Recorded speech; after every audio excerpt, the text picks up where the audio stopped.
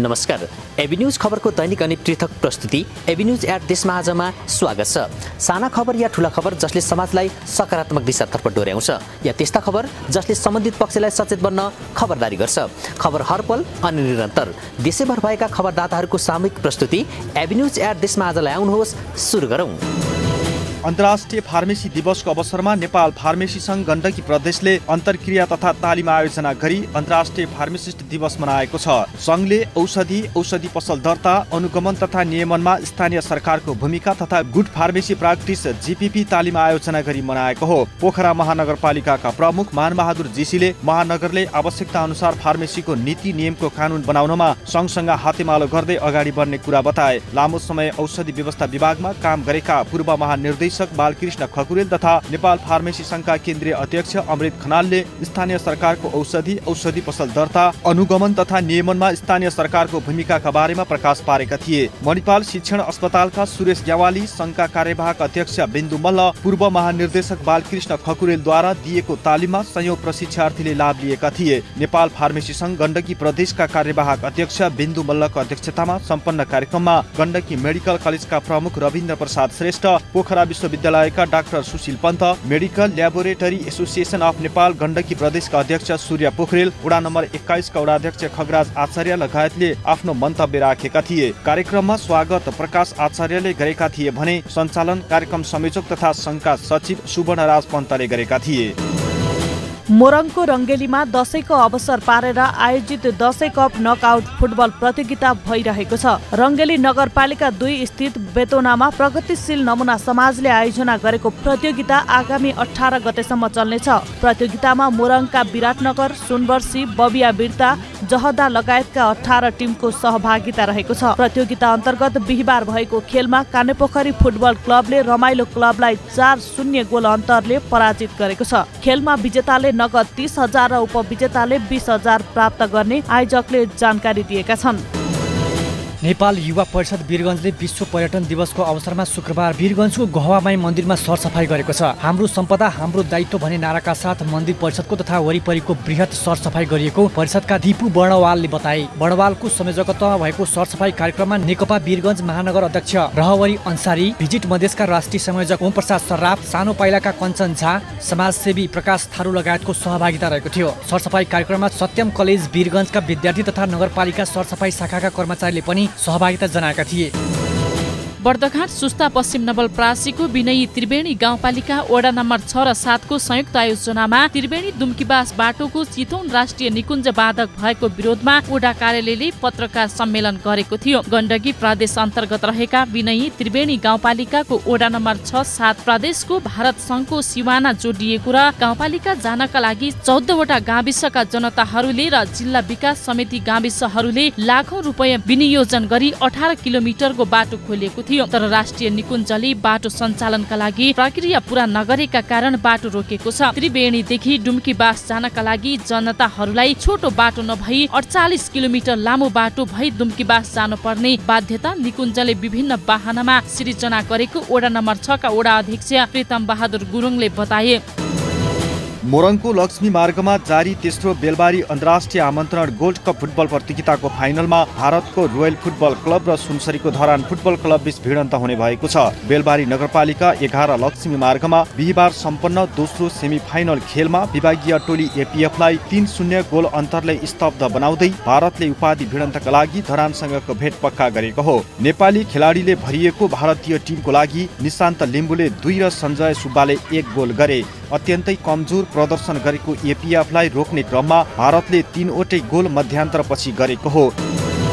बागलुङ नगरपालिका दुईमा रहेको रुद्रे पिपल माध्यमिक विद्यालय बागलुङमा चारकोठी भवन निर्माण सुरु गरिएको छ। राष्ट्रिय पुनर्निर्माण प्राधिकरण जिल्ला आयोजना कार्यान्वयन इकाइको आर्थिक सहयोगमा भवन निर्माण सुरु हुन लागेको हो। यस चारकोठी भवन आगामी माघ मसान्तसम्म सक्ने बताइएको छ। भूकम्प प्रतिरोधी तथा अपाङ्ग मैत्री रहने भवन निर्माणका लागि प्राधिकरणले सहत्तरी लाख चालिस हजार रुपियाँ विनियोजन गरी काम अगाडि बढाएको हो। प्राधिकरणका प्रमुख मतिलाल चपाईले बागलुङ जिल्लामा पूर्ण तथा आंशिक रूपमा क्षति भएका दुई सय दसवटा विद्यालय रहेको भन्दै यस वर्ष अडतिसवटा भवन निर्माणका लागि बजेट आएको बताए। आंशिक क्षति भएका चर्केका एवं रातो स्टिकर टाँसिएका सबै विद्यालय पुनः निर्माण गर्ने योजना रहेको जानकारी दिए। बागलुङ सदरमुकाममा दुई हजार नौ सालमा स्थापना भएको यस विद्यालयमा एलकेजीदेखि कक्षा दससम्म झण्डै छ सय जना विद्यार्थीहरू अध्ययनरत छन्। सो भवनको शिलान्यास गर्दै संघीय सांसद डाक्टर सूर्य पाठकले शैक्षिक तथा पूर्वाधार निर्माण गर्दा गुणस्तरमा सम्झौता नगर्न आग्रह गरे।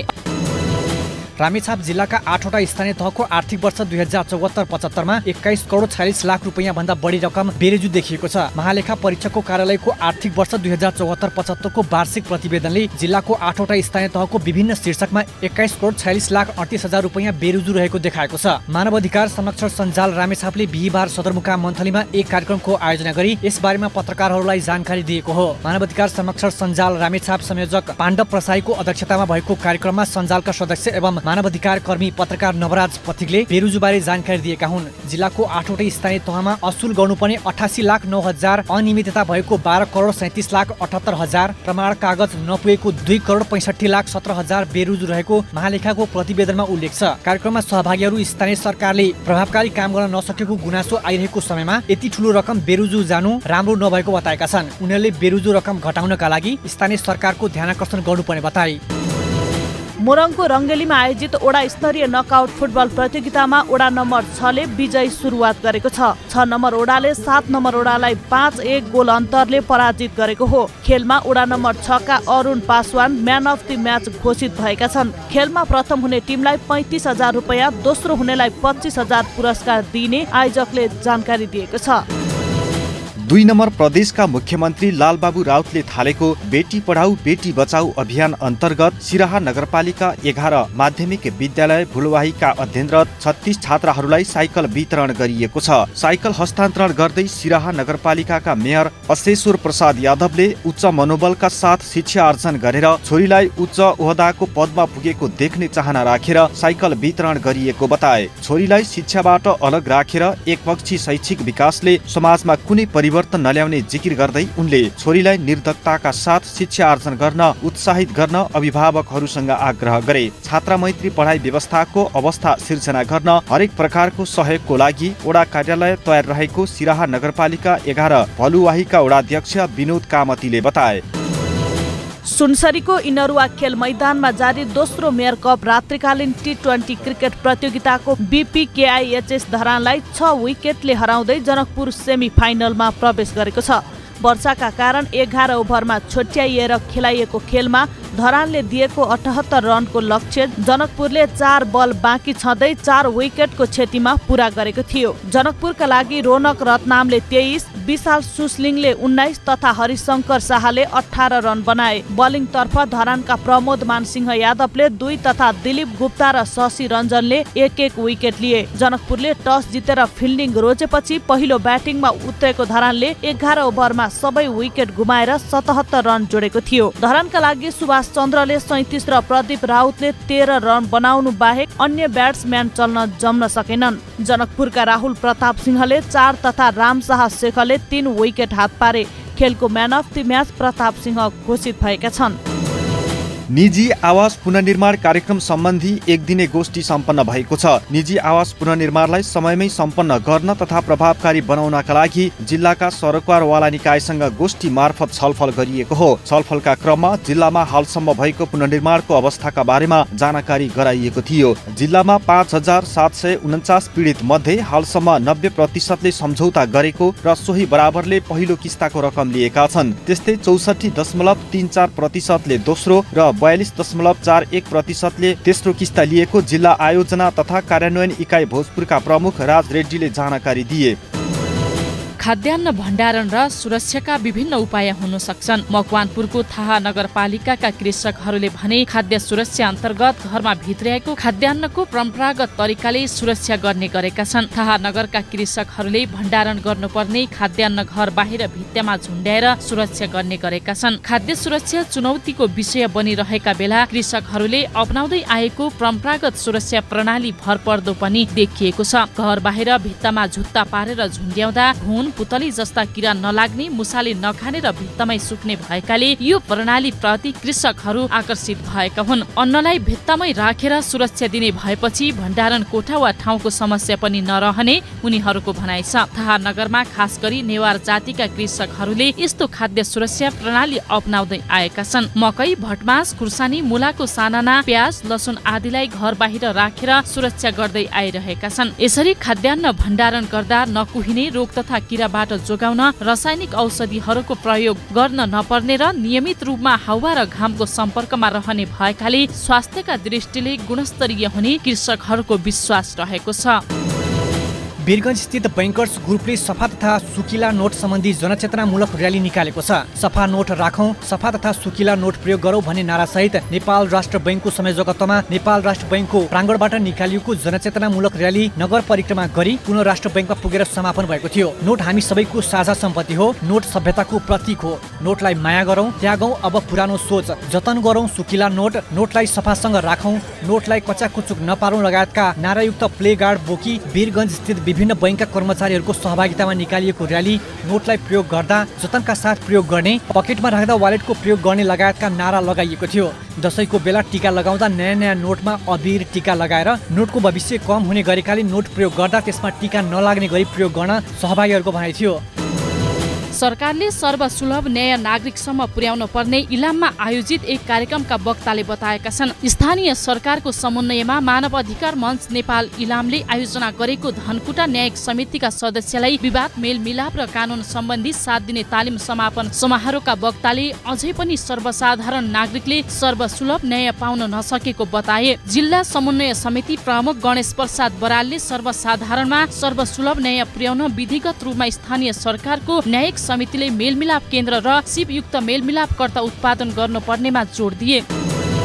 रामेछापको लिखु तामाकोसी गाउँपालिकाका सर्वसाधारणले स्थानीय सरकारले दिने सेवा सहज रूपमा नपाएको गुनासो गरेका छन्। जिल्ला प्रशासन कार्यालय रामेछापले सो गाउँपालिकाको वडा नम्बर एक र दुईमा आयोजना गरेको स्थानीयको समस्याबारे छलफल कार्यक्रममा स्थानीयले प्रमुख जिल्ला अधिकारी समक्ष सो गुनासो गरेका हुन्। छलफल कार्यक्रममा स्थानीयले वडामा वडा सचिव नभएको पशु सेवा कार्यालयमा कर्मचारी नहुँदा पशु वस्तुको उपचारमा समस्या भएको कृषिका लागि प्राविधिक गाउँमा नआएको भूकम्पले घर भत्किएकाहरू अझै पनि लाभग्राहीको सूचीमा नपरेका सडकको दुरावस्थाको कारण दसैँमा आउजाउ गर्न समस्या भएको गाउँपालिकाको आन्तरिक विवादले गर्दा विकासका काम अघि बढ्न नसकेको तथा ज्येष्ठ नागरिकले सामाजिक सुरक्षा भत्ता र कर्मचारीले तलब खान नपाउने अवस्था आएको गुनासो गरेका छन्। स्थानीयको गुनासो सुन्दै प्रमुख जिल्ला अधिकारी लीला कुमारी केसीले रिक्त रहेको वडा सचिवको लागि लोकसेवा आयोगमा माग गरी पठाइसकिएकाले दसैँपछि कर्मचारी आउने बताइन्। जिल्ला प्रहरी कार्यालय रामेछापका प्रमुख सन्तोष भट्टराईले सामाजिक समस्या समाधानका लागि प्रहरी पनि सहकार्य गरी अघि बढ्न तयार रहेको बताए। विभिन्न किसिमका सामाजिक कार्य गर्दै आएको लायन्स क्लब अफ इटहरी मनोकामनाले इटहरीको एक सामुदायिक विद्यालयमा अध्ययनरत बालबालिकाहरूलाई शैक्षिक सामग्री वितरण गरेको छ। निम्न तथा आर्थिक अवस्था कमजोर भएका परिवारका विद्यार्थीहरू अध्ययनरत इटहरी चारमा रहेको बुढी गङ्गा आधारभूत विद्यालयका विद्यार्थीहरूलाई शैक्षिक सामग्री वितरण गरिएको हो। शैक्षिक सामग्री वितरण कार्यक्रममा lions club three two five A वानका जिल्ला कोषाध्यक्ष धीरज गुरुङको प्रमुख आतिथ्यतामा सो विद्यालयमा अध्ययनरत विद्यार्थीलाई आठ सय पचास थान कपी लगायत सामग्री वितरण गरिएको लायन्स क्लब अफ इटहरी मनोकामनाकी अध्यक्ष सुमी थापाले जानकारी दिइन्। इटहरी मनोकामनाले इटहरीको विभिन्न स्थानमा सरसफाई निशुल्क स्वास्थ्य शिविर जस्ता सामाजिक कार्यहरू सक्रिय रूपमा गर्दै आएको पनि अध्यक्ष थापाले बताइन्। विभेद अन्त्यका लागि कानुन कार्यान्वयन गर्नुपर्नेमा सरकार ओलाहरूले जोड दिएका छन्। म्याग्दीको बेनीमा बुधबार आयोजित अन्तर्क्रिया कार्यक्रमका सहभागीहरूले महिला हिंसा विरुद्ध भेदभाव उन्मूलन कानुन कार्यान्वयन हुन नसकेको बताएका हुन्। प्लान इन्टरनेसनल सिबिन नेपाल र ओरेकले आयोजना गरेको छलफलमा सहभागीहरूले अन्तर्राष्ट्रिय कानुन कार्यान्वयनमा सरकारले नै चासो नदेखाएको आरोप लगाएका हुन्। कार्यक्रममा जिल्ला समन्वय समिति म्याग्दीका प्रमुख देवेन्द्र बहादुर केसीले मानव अधिकारको अवस्था सुधार र सामाजिक रूपान्तरणका लागि संविधानले पनि धेरै विषय समेटेको उल्लेख गर्दै नीतिगत व्यवस्थाको व्यावहारिक कार्यान्वयनमा जोड दिए ओरेककी कार्यक्रम संयोजक सङ्जिता ढुङ्गानाले मानव अधिकारको सम्मान संरक्षण र परिपूर्ति राज्यको दायित्व भएको बताउँदै प्रभावकारी कार्यान्वयनमा सबैलाई आग्रह गरिन्। नेपाल युवा परिषदले नेपाल भ्रमण वर्ष दुई हजार बिसलाई मध्यनजर गरेर पर्यटन दिवसको अवसरमा स्याङ्जामा रहेको छाया क्षेत्र मन्दिर छ्याङछाङदीमा राष्ट्रिय स्तरको वृहत सरसफाई कार्यक्रम सम्पन्न गरेको छ। सरसफाई कार्यक्रम स्याङ्जा युवा क्लब मुक्तिनाथ विकास बैङ्क वालिङ जेसिस र बयरघारी पिसदुरको समन्वयमा आयोजना गरिएको हो। आउँदै गरेको भ्रमण वर्ष दुई हजार बिसको प्रचार प्रसार गर्न छाया क्षेत्र मन्दिरमा सरसफाई कार्यक्रम गरिएको युवा परिषद नेपालकी प्रतिनिधि रक्षा शर्मा नेपालले जानकारी दिइन्। सरसफाई कार्यक्रममा स्थानीय आमा समूह र युवा क्लब लगायतको उपस्थित रहेको थियो। सरसफाई कार्यक्रममा भिरकोट नगरपालिकाले कुचो बाल्टिन तथा पन्जा सहयोग गरेको थियो भने मुक्तिनाथ विकास बैङ्क डिभिजन वन कार्यालय स्याङ्जाले फोहोर सङ्कलन गर्ने भाडो मन्दिर व्यवस्थापन समितिलाई हस्तान्तरण गरेको थियो। देशकै खबर अनि खबरभित्रको खबर खोज्ने हाम्रा संवाददाताहरूको सामूहिक प्रस्तुति। एभिन्युज एट देशमा आजमा हामी त्यस्ता खबरलाई स्थान दिन्छौँ।